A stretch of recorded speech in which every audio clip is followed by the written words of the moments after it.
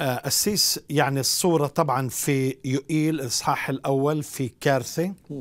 في مصيبة في يعني جراد عم بيأكل الأخضر واليابس بيتكلم إنه بيكون أخضر بعدين بيتحول وراء آه، كل شيء كأنه حريق يابس إلى آخره وعم نشوف كل هاي الصور اللي أنت بتتكلم عنها فالسؤال أين دور الله وين الله من كل هالموضوع هذا؟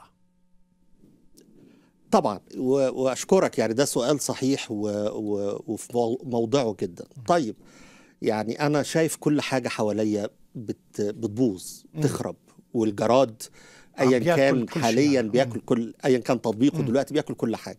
أين الله؟ وده سؤال آه، يعني آه، جيد إنه يطرح ومش غلط إنه يطرح نطرحه. أقول أفكار بسيطة يعني. طبعا ده موضوع ممكن نتكلم فيه كتير قوي لكن أقول أفكار بسيطة.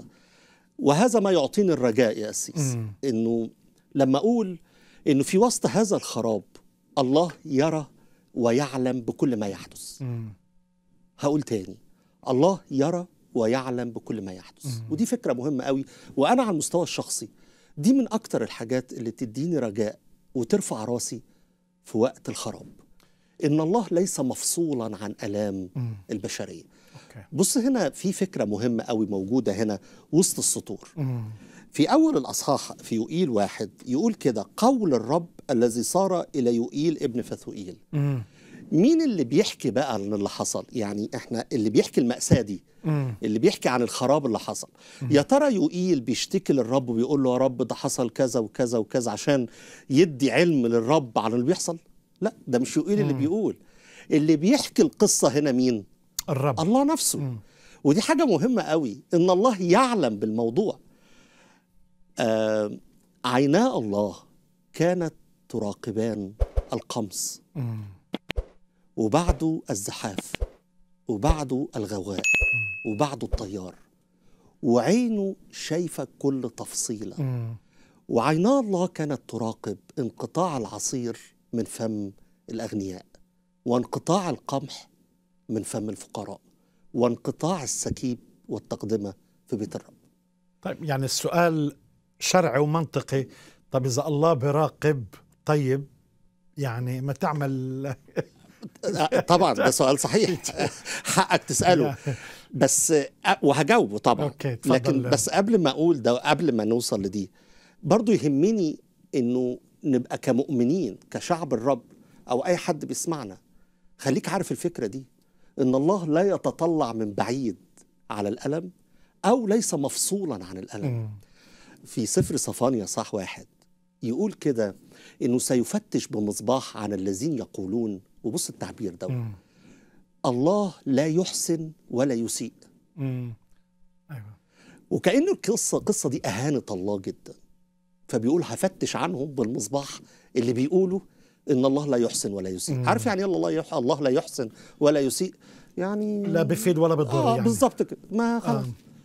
ف فالمعنى الفكرة دي إبليس عايز يزرعها دلوقتي في. الزمن الكآبة والحزن. الله مفصول. الله بعيد. على فكرة ده لو سمح للإنسان إنه يفكر إنه في إله أساسا. فيا إما يلعب في فكرة إنه لا طالما الفوضى دي موجودة والشر موجود يبقى هو مش موجود مم. أو لو هو بقى يعني مش قادر يمشي يمرر الفكرة دي لذهن الإنسان يمرر له فكرة تانية هو لا يحسن ولا يسيء. أو في أيوب يعني كما قالوا لله أبعد عنا لأننا بمعرفة طرقك لا, لا لا نسر. نسر yes يعني أخذوها face to face يا بتحدي يعني بتحدي yes. خلاص إحنا مش عاوزينك yes فعشان كده برجع وأقول فكرة إنه أين الله؟ الله يفهم ويدرك ويتعاطف مع ألمنا. الله جاي ليوئيل ويقول له يا يوئيل القصة كذا كذا وأنا شايفها بتفاصيلها وأنا عارف كل اللي فيها. أنا مش محتاج إنه حد حتى يعني إيه يحنن قلبي عارف. أوقات وأنا بصلي يا اسيس نزار أقول له يا رب حن علينا. بس دايما وأنا بقولها وأنا بقولها كتير يعني Yeah. في, في إحساس ال- الانكسار أمام الله أقول له رب حن علينا. بس على طول قلبي يعني يضربني كده وأكمل وأقول له الحقيقة أنا مش محتاج أحنن قلبك علينا. مم. أنت متحنن. الرب حنان. الرب حنان ورؤوف. فعشان كده كسؤال الأولاني هاجي للتاني دلوقتي هي فكرة إنه آه أين الله؟ الله متحد بالام خالقته، الله حاسس بينا، الله شايف كل وجع وألم بنمر بيه وحاسس بيه. آه تسمح لي أقول حاجة تاني قبل آه السؤال لا يعني التاني؟ الفكرة إنه كأنه الله صامت يعني هاي إنه آه. الله عارف بس صامت تمام هاجي الحكاية دي بس اتفضل. عايز أقول قبل ما ما أجي لدي بص ال الإنسان في أو ال- الفكرة اللي بيحاول يمررها إبليس للإنسان يا إما يعني لو ابتدى من بعيد قوي يقول إيه؟ الله مش موجود. مم. لو قرب شوية يقول بعيد. مم. عارف آم، آه، لما لما لما لما الإنسان يشعر إنه إنه حتى موجود بس هو مش قريب ما يقدرش يسمع. يجي يقرب شوية يقول هو نفسه يعمل حاجة بس مش قادر. ما تعمل حاجة. آه فهو بعيد. أو هو ب... آه سوري هو مش موجود أو بعيد أو مش قادر يعمل حاجة أو غير مبالي. مم. أوكي. مش قادر يعمل حاجة. فاكر أرميا يقول له لماذا تكون كجبار قد تحير؟ وكأنك أنت بس في حاجة مأيداه كده أنت مش قادر تعمل حاجة. أو إنه غير مبالي هو مش مهتم مم. بالموضوع. رجائنا المسيحي بيقول إيه؟ بيقول وده اللي هكمل عليه للسؤال التاني اللي. حضرتك قلته طب ما بيعمل إيه؟ الله بالنسبة للمسيحي اللي عنده رجاء الله موجود قريب قادر مبالي بس في كلمة أنا بحبها وبقولها كتير قوي ومزمع أن يصنع مشيئته. مزمع أن يصنع مشيئته. وده اللي حاصل هنا وده اللي هنكمل فيه. قد يرى في حكمته أن ينتظر لكن هو مزمع أن يفعل مشيئته. ودي حاجة عايز أقولها لكل إخواتي المتألمين اللي شعارين كده إنه مش عارفين يلحقوا على الأخبار المزعجة وعلى الضغوط اللي بتواجههم. يمكن دلوقتي يبدو محتجب أو صامت بس هو مزمع أن يصنع شيئا.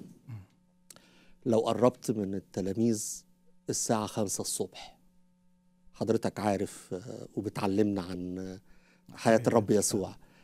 الهزيع الرابع ده اللي هو من ثلاثة لستة. آه، هو ظهر لهم في الهزيع الرابع في الآخر كده لو تصورت إنه الساعة خمسة الفجر بعد ليلة من أصعب الليالي عليهم وقلت لهم لو اقتربت من السفينة وقلت لهم يسوع مزمع أن يصنع شيئا يمكن يشعروا بأنه ده كلام مم. ما, ي... ما يعملش أي صدى جواهم بس هو جه بعد كده مم.